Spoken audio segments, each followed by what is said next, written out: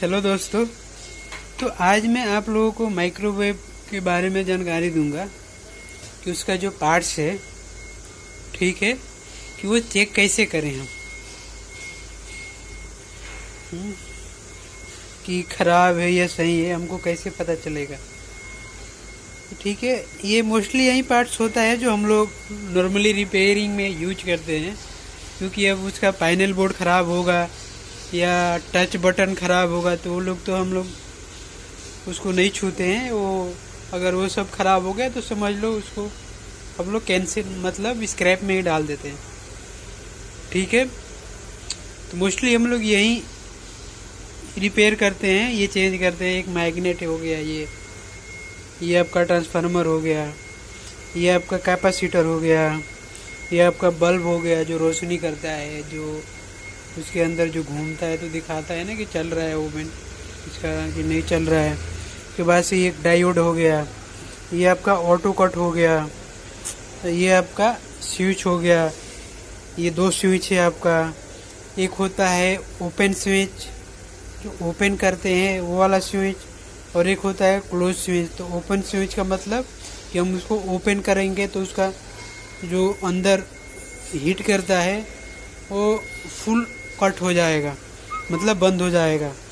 और ये होता है एक क्लोज स्विच तो ये जब तक हम क्लोज नहीं करेंगे, तब तक चाहे कितना भी कोशिश कर ले ओवन को हम हीट नहीं कर सकते।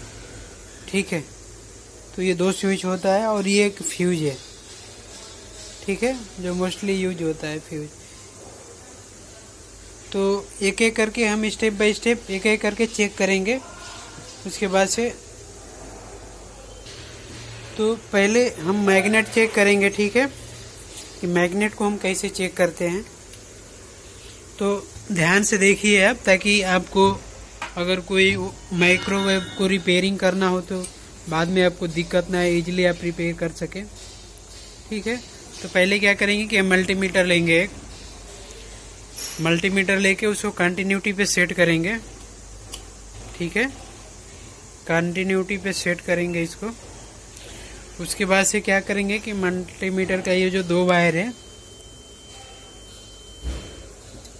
दो वायर है, इसको हम इस एक एक इस वाले पोल पे लगाएँगे और दूसरा इस वाले पे लगाएँगे। तो इस पे हमको क्या है कि कंटिन्यूटी बताना चाहिए। अगर ये कंटिन्यूटी नहीं बताएगा तो समझो कि ये मैग्नेट खराब है आपका। ठीक है?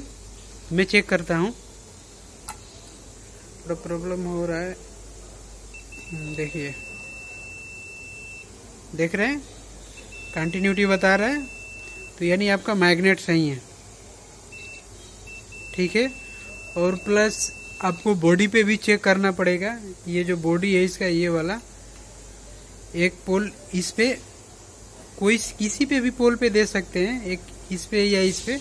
और प्लस एक इस पे। तो ये अगर इस पे भी अगर कंटिन्यूटी बताता है तो समझो खराब है। ठीक है? तो ये देखिए। तो एक ये पोल हो गया और एक ये हो गया। तो देखिए, ये नहीं बता रहा है तो यानी ये अपना सही है।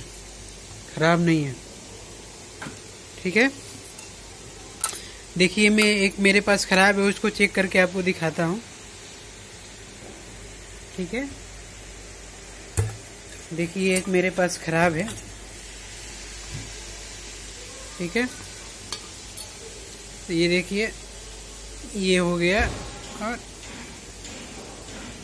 ये हो गया। देखिए कंटिन्यूटी बता रहा है इसका। अब फिर अब क्या करेंगे कि इसको एक बॉडी पे चेक करेंगे। एक पोल इस पे और एक बॉडी पे। देखिए देखिए। देखिए, इसका भी कंटिन्यूटी बता रहा है। यानी चेक करने का एकदम इजीली तरीका है। अगर आप मैग्नेट को नहीं पता है कि चेक कैसे करें कि हमको खराब है कि सही है, कैसे पता चलेगा तो आप इजीली चेक करेंगे। एक पोल इस पे वो करेंगे और एक इस पे करेंगे। अगर कंटिन्यूटी बताता है बॉडी पे और इस पे तो समझो कि खराब है तो खराब है। तो आप ज़ाहिर सी बात है कि चेंज करेंगे तो सही हो जाएगा। उसके बाद से अब हम ट्रांसफार्मर को चेक करेंगे कि ट्रांसफार्मर कैसे चेक करते हैं। ठीक है? तो ये अपना ट्रांसफार्मर है। ठीक है? देख रहे हैं ट्रांसफार्मर है ये। ये आपका दोनों पोल है। तो ये दोनों पे चेक करेंगे हम। ये देखिए इस पे भी कंटिन्यूटी बताना चाहिए। अगर नहीं बताएगा तो समझिए कि खराब है। ठीक है? देखिए कंटिन्यूटी बता रहा है यहाँ पे भी। देख रहे हैं? कंटिन्यूटी बता रहा है। प्लस इस पे से एक क्या करना चाहिए कि इस, इसका जो बॉडी है उस पर भी चेक करना चाहिए। अगर इस पे भी अगर कंटिन्यूटी बताता है तो समझिए कि ट्रांसफार्मर खराब है। ठीक है? प्लस इस साइड भी चेक करते हैं। ठीक है? ये देखिए। एक इसमें और एक इसमें। एक इसमें। देखिए। ये जो अपना ये है, डाल दिया हूँ फिर इसमें चेक करेंगे। ये देखिए। इस वाले पोल पे, दूसरे वाले पे।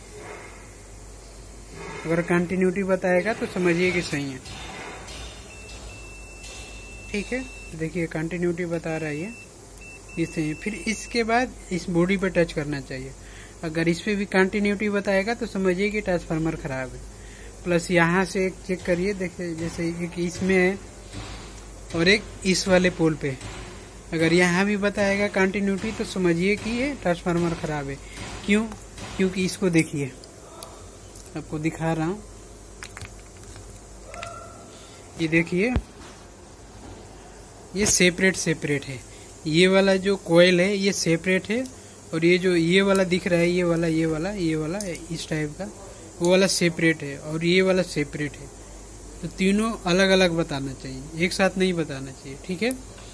तो ये आपका ट्रांसफार्मर हो गया। उसके बाद से अब आते हैं ये ऑटो कट पे। कि हम ऑटो कट के कैसे पता चले कि खराब है या सही है? ठीक है? देखिए, ऑटो कट को चेक करते हैं हम। देखिए कंटिन्यूटी से एक पोल इसमें से वो डाले हुए हैं वायर। ये वाला मल्टीमीटर के वायर में, यहाँ पे। और फिर ये वाला पे चेक करेंगे डाल के। अगर कंटिन्यूटी बताएगा तो समझिए कि आपका ऑटो कट सही है। देखिए कंटिन्यू बता रहा है तो ये आपका ऑटो कट सही है। अगर ये कंटिन्यूटी आपका नहीं बताता तो समझिए कि ऑटो कट ये खराब है आपका। ठीक है? अगर ये कंटिन्यूटी नहीं बताता तो समझिए खराब है, फिर चेंज करिए उसको। फिर जाके आपका ओवन वर्क करेगा। तो ये सही हो गया, ये चेक हो गया ट्रांसफार्मर चेक हो गया ऑटो कट चेक हो गया मैग्नेट चेक हो गया। अब क्या करेंगे हम? स्विच चेक करेंगे। अब क्या कि स्विच चेक करेंगे हम? देखिए। तो ये वाला क्या है कि ये क्लोज वाला स्विच है। देख रहे हैं? ये दोनों वायर इसमें लगा दिया मैं स्विच के पोल पे। ये देखिए रीडिंग इसका। देख रहे हैं? ये देखिए। अब मैं इसको जब स्विच को पुश करूँगा तो ये बंद होगा। ठीक है? तो अगर ये वाला पुश करने पे भी कंटिन्यूटी बताए तो समझिए कि ये भी खराब है। देखिए, मैं पुश करूँगा तो ये क्या होगा कि बंद हो जाएगा कंटिन्यूटी नहीं बताएगा। ये देखिए। देख रहे हैं? फिर ओपन करूँगा तो ये कंटिन्यूटी बताएगा। फिर बंद करूँगा तो कंटिन्यूटी बंद हो जाएगा। फिर ओपन करूँगा तो फिर बताएगा। फिर सेम ऐसे ही ये वाला क्या है कि open open open open switch है। इसको मैं पुश करूँगा तो ओपन होगा और इसको छोड़ूँगा तो क्लोज होगा। लेकिन ये क्या है कि इसको मैं पुश करूँगा तो क्लोज होगा, छोड़ूँगा तो ओपन होगा। ठीक है तो दोनों को सेम चेक करेंगे सेम ही डिफरेंट नहीं है, ताकि पता चले। एक ओवन में दो स्विच लगता है, ठीक है? एक ओपन और एक क्लोज दोनों को आपको तरीका मालूम हो गया चेक करने का। एक को पुश करेंगे तो क्लोज वाला ओपन ऐसे दिखाएगा। ठीक है? अब आते हैं डायोड चेक करते हैं कि डायोड को कैसे हम चेक करेंगे। तो देखिए। देखिए डायोड को कैसे चेक करते हैं। अगर ये हम इसको कंटिन्यूटी चेक करेंगे, अगर ये कंटिन्यूटी बताएगा तो समझिए कि ये खराब है। अगर कंटिन्यूटी नहीं बताता है तो समझिए कि डायोड सही है। ठीक है? तो अब चेक करेंगे, अगर कंटिन्यूटी बताएगा तो खराब है तो यानी इसको भी चेंज करेंगे हम। मतलब चेंज करना पड़ेगा हमको। देखिए। देखिए, एक ये वाला पुल इसमें डाल रखा हूँ और ये वाला यहाँ पे सटा रहा। लेकिन आपका कंटिन्यूटी नहीं बता रहा। अगर कंटिन्यूटी बताता तो समझिए कि डायोड खराब है आपका। तो इसलिए डायोड को हम ऐसे चेक करते हैं। ठीक है? अब फिर अब, आपको मालूम पड़ गया कि डायोड कैसे चेक करते हैं। अब फिर हम क्या करेंगे? कापासीटर को चेक करेंगे। कैपेसिटर कैसे चेक करते हैं? तो ये देखिए, एक ये है इस पे भी देखिए ये कैपेसिटर है, ठीक है? देख रहे हैं इस पे चार पोल है तो तो एक पोल इधर है, दूसरा पोल इधर है, ठीक है? तीसरा पोल इधर है, चौथा पोल इधर है तो कैपेसिटर को कंटिन्यूटी पे चेक करते हैं। देखिए, अगर कंटिन्यूटी बताएगा तो समझिए कि ओके है, अगर नहीं बताएगा तो समझिए खराब है। तो चेक करते हैं। इसको सेप अलग चेक करेंगे और इसको अलग चेक करेंगे। दोनों को एक बार नहीं चेक कर सकते। इसको अलग करेंगे, ये दोनों पोल को एक साथ चेक करेंगे, ये दोनों पोल को एक साथ चेक करेंगे। देखिए। देख रहे हैं? ये देखिए। ये देखिए। देख रहे हैं कंटिन्यूटी बता रहा है। तो यानी आपका कैपेसिटर ये दोनों तरफ़ का चेक कर लूँ, उसके बाद ये देखिए। देखिए, आपका कैपेसिटर सही है। बॉडी पे भी चेक करना पड़ेगा, दोनों पुल यहाँ के बाद यहाँ।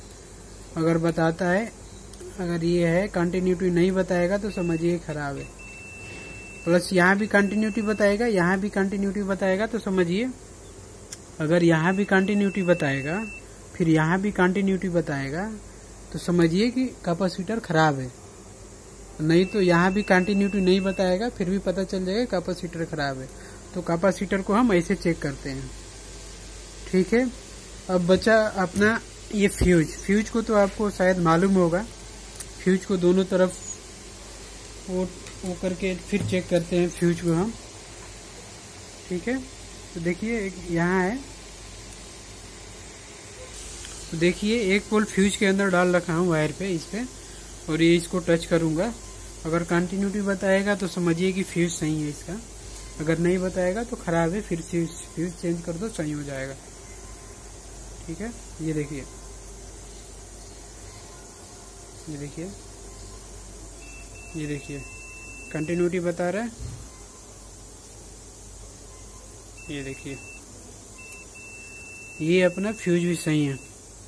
अगर ये फ्यूज नहीं बताता तो फिर आप चेंज करोगे, सही हो जाएगा। आपका ओवन तो ऐसे फ्यूज को हम चेक करते हैं। फिर उसके बाद बचा बल्ब ठीक है? तो बल्ब को भी कंटिन्यूटी पे चेक करेंगे। अगर नहीं बताएगा तो समझो भी खराब है, बताता है तो सही है। ये देखो, दो पोल है इसमें भी।